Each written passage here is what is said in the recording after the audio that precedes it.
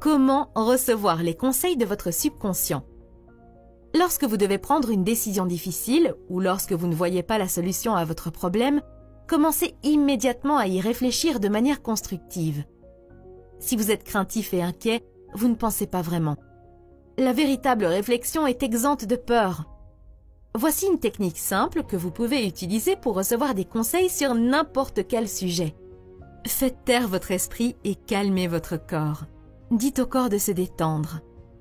Concentrez vos pensées sur la solution à votre problème. Essayez de le résoudre avec votre esprit conscient. Pensez à la joie que vous éprouveriez en trouvant la solution parfaite. Ressentez le sentiment que vous auriez si la réponse parfaite était votre maintenant. Laissez votre esprit jouer avec cette humeur de bonheur de manière détendue, puis endormez-vous. À votre réveil, si vous n'avez pas la réponse, occupez-vous d'autre chose. Pendant que vous êtes préoccupé, il est possible que la réponse vous vienne à l'esprit. Vous n'obtenez pas toujours la réponse du jour au lendemain, alors continuez à le faire.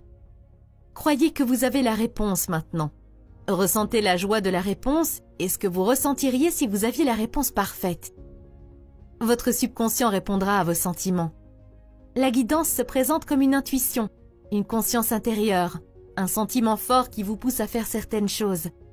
Suivez ces sentiments avec foi et ne doutez jamais de leur pouvoir. Dans le livre, il y a plusieurs excellents exemples montrant comment les gens ont utilisé cette technique pour trouver une réponse ou une solution à leurs problèmes. L'exemple le plus simple est celui qui est arrivé à l'auteur lui-même. L'auteur raconte qu'il a utilisé cette technique pour retrouver sa bague perdue.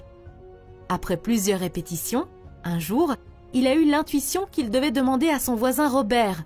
Mais cela n'avait aucun sens puisque Robert n'était qu'un enfant et qu'il n'y avait aucune chance qu'il sache où se trouve la bague.